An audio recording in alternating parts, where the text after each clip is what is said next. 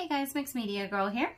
So today we're going to do an acrylic pour on a vase. This is just an 8 by 10 canvas with a 7 inch tall glass vase. The only thing I've done to prep the vase is cleaned it with rubbing alcohol. If you don't have rubbing alcohol, clean it with water. You just don't want any soap on there and cleaning it first helps to get any oils and dirt off. I have it setting up here on a cup, but first I'm going to go ahead and fill up my bowl with paint. I'm using a Lowly Vefe silicone bowl. I love these things, reusable till the end of time. And I'm going to be using the Artist Loft Ready Mixed Pouring Paint, which you can get from Michaels. All right, so for this size canvas, I only need about five ounces of paint. And this customer specifically asked for a variety of blues with some white and black. I'm using turquoise. This one is actually bright blue, even though it's pretty dark. And then I have a phthalo blue. And I mixed myself up a navy blue and then also like a metallic teal. But I'm gonna, I think, layer in some white here. And maybe also a little bit of the black. Definitely not using a lot of black. I really don't even have all that much, but I don't want this to be too dark. Now this, even though it probably looks like black, is a navy blue. So that will also be a good substitute for black.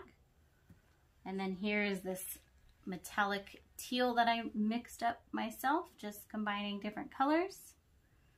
I think this is going to be so pretty. And I'm gonna just circle back through some of these blues here.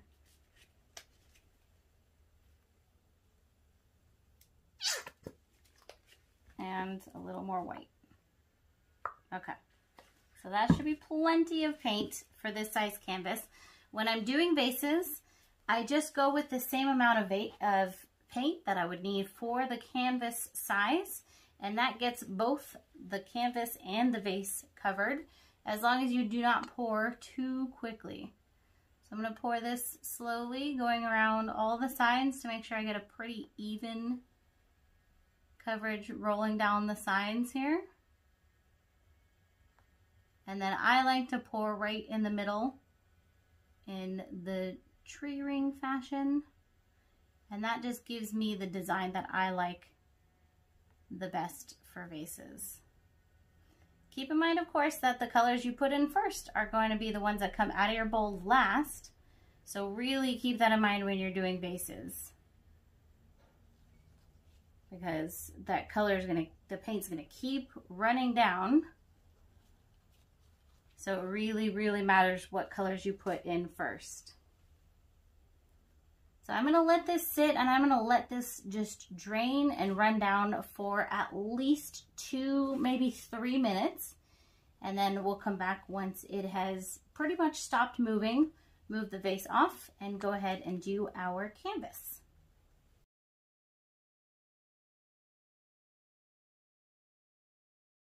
All right, we're back. So this has majorly slowed down on dripping. You can even leave it for a little while longer if you want, but I like to wait until it's barely dripping and then pick it up by the cup carefully. And we're just gonna move this off to the side. And that's all we need to do with that for now. We're gonna just let that dry, but let's go ahead and do our canvas. Now the great thing about these acrylic pours on vases is it gives you a really unique look on your canvas.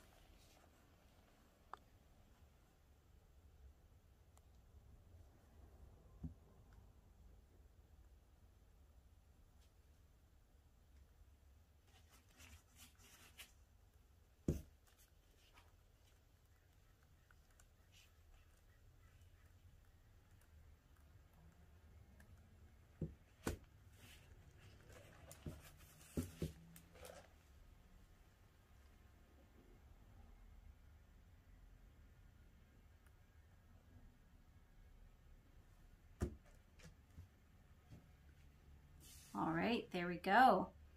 So that is complete. I'm gonna go ahead and make sure all my sides and corners are covered.